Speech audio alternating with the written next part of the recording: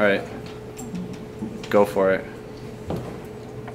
Okay, so when when I first started, I was up in the robotics program with Mr. Bartels in the upper school, and I thought, wow, these computers are really cool. And I was mainly using them for Inventor, which is 3D CAD drawing, and Unity 3D, which is like game making and stuff. So after that, I really needed a computer for myself because I was sharing one with my mom at the time. And so I thought, man, I mean, this, why don't I just make one of these? It's educational and also be pretty cool. So when I first built it, I thought that it actually was going to be like really hard. And then after I did it, I was like, wow, this is quite easy. Why, should, why not share it with everybody? So on a raise of hands, some of y'all may have a computer that looks like this or like this. Yeah. How would you like a computer that looks like this? Oh, that's me. That's That's that's like like you. you. My dad Yeah, that's what they yeah. did. My I went to Bartell, that. like quite a couple of those. Yeah, this is a, this is a similar one. It's a little more decorative. But okay, so you would make a computer like this. Whoa, cool. How many of you think that this is the computer? No, it's a, it's a I want monitor. that computer. That's a monitor. It's a monitor. Yeah, How many of you think this is the computer?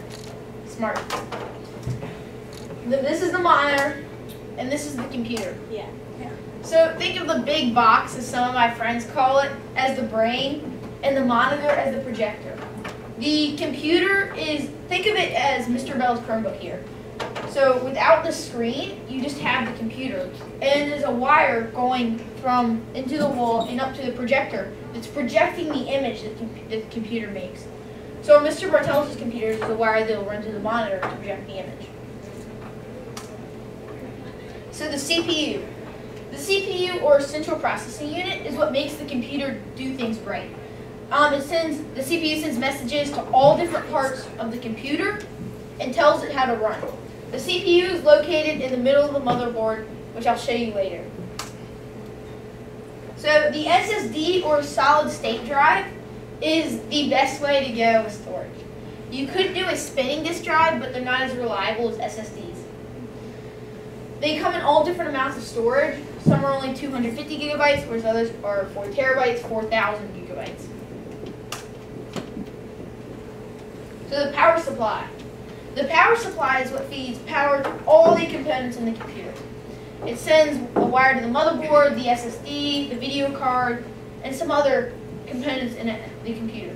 Um, power supplies come in all different types of ranges, from platinum and titanium is the highest, bronze is the lowest, and then gold and silver in the middle, and other stuff.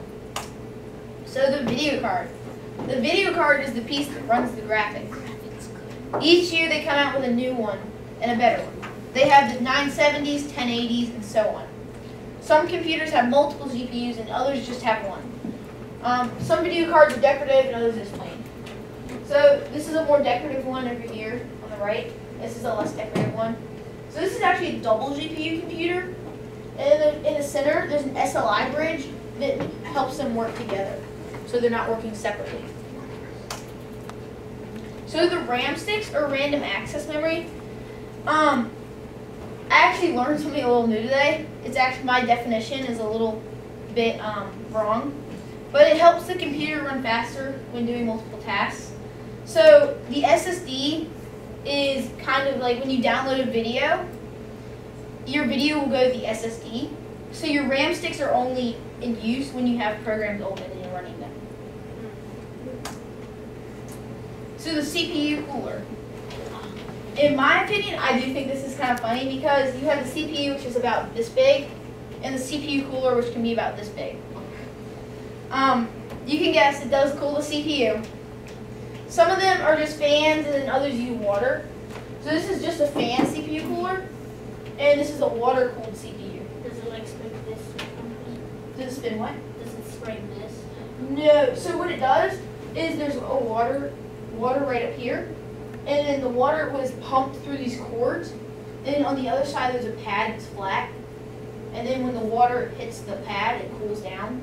So it'll cool the CPU, which is on the CPU, and the water will be pumped and reused again. Come back through.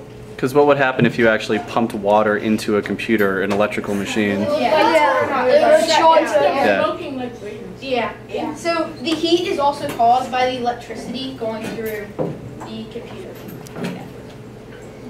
Um, the water cooling ones though do show better performance for less cost, which is kind of cool, interesting.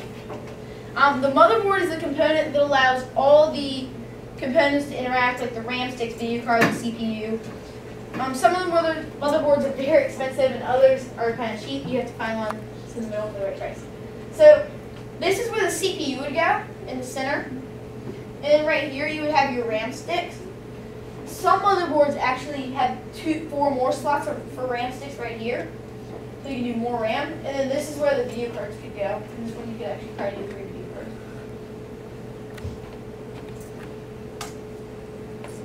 So the case. The case is the part that holds all the components we just talked about. Some are very unique, whereas others are just average. This is where I would go all out because you see it the most. Um, so this one lights up, which is pretty sweet. That's the one we found. Yeah, this is this one's actually Yeah, very. This one's similar to Mr. Martell's. It's in black, and the, the case size is a little different. But and then this one is its design is really cool, but it doesn't light up, so cool too. And thank you for watching.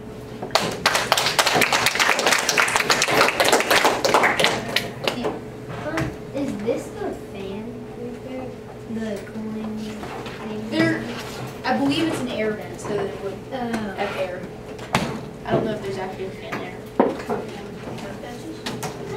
Yeah. Um, so, what grade do you start building these computers, and when, and how can I, when? Well, you could build one now if you want. to. Okay. And Make like, where do space. you exactly find all this stuff? Like, do you find it online? Do you just they ship it to you, or? Yeah, so I went on newegg.com. This is where I bought everything. Oh. It's like a computer. And right now, they're it, probably. is it that cheap, or is everything It's pretty? probably I'm cheap? having a sale for well, they're, they're, having a sale probably for Like, is it like, is like everything ten bucks, or is everything? No, everything. Well, here I'll show you. Here, here's my computer that I built. Okay. So- It has the CPU, 398. the CPU cooler, the motherboard, the RAM sticks, SSD. That's a lot. So how? So the total price was? Uh, about 2,400 including the monitor and keyboard. Okay. What actually? Yeah. Oh, I could try. Your computer. I could try. Um, this is a close picture to it. So this would be like the inside of the case, basically. This is a close picture. Wait, didn't you have to But is do it that cheaper just to like buy one by have your, buy, there? just buy one, or Yeah, does so it cost ones in more my to room just like get them similar. ready? Um, I it, like build you it costs it costs less to build it, but like so actually, if I had gotten mine like already built, it would probably cost a lot more. Have you guys ever heard the word parts and labor? Yeah. Yeah. When, when you when you buy things, uh, you're also paying for people to make it for you, Yeah. or robots to make it for you. So it's, uh, so you're saying building is the way to go? Yeah, it's a, it's a lot cheaper. Well, it, it depends on, on what your goals are too. I mean, a lot of most of us uh, for the, the stuff that we we tend to do on a day-to-day basis, we just walk into Best Buy, get a pre-made machine, and it'll work fine. But the stuff that Drew's trying to do and Mr. Bartel is is trying to get more of us to do is a lot more high-powered things that you can't do, at least not well or effectively or quickly on a store-bought, you know, Best Buy Dell laptop or sometimes even a a MacBook, which are very powerful machines. Uh, the kind of machine that, and, and the reason that, that Drew wanted to do something that was more customizable, we'll say, is that he wanted to um, have the ability to upgrade. Because that's a lot harder to do. When you buy like a MacBook, for instance, they don't want you to upgrade a part of it. They don't want you to get a better video card or a better DVD drive or whatever it is. They want you to buy a whole new computer. So it's like every couple years they, you know, they kind of make their old stuff obsolete. They want you to buy a new one. In Drew's case, if like his video card breaks or is just not as good as he wants it to be anymore, all he has to do is replace just the video card. How much was that on Newegg? My video card. Yeah. About six hundred. So 600 bucks as opposed to buying a brand new $2,400 computer just to replace one part. So it's, you know, there's, there's a lot of advantages to it. What kind of video card was it? Dr. Collins It was a 1080. Which one? A The 1080. camera The new one? Yeah. Did you buy So I click on camera and it does. Yeah, you can buy used parts.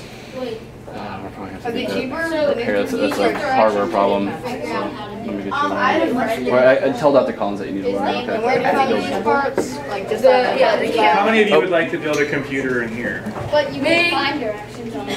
Yeah, you I'm in here. I Babe. help my dad. I really do. okay. All right. Uh, any other quick questions for Drew? Are we good? Wait, what was that website called again? Newegg. Uh, how many video cards did you have in yours? Um, in mine I have one right now, but I'd like to get a second one for my next computer. Get five. Is newegg.com, is it like just computer parts or is it like drones like we saw? I believe they have drones. It's a lot of electronics. And Tiger Direct is another good one. Yeah, me too. Hey guys, can we thank Drew for his time and effort? Thank you.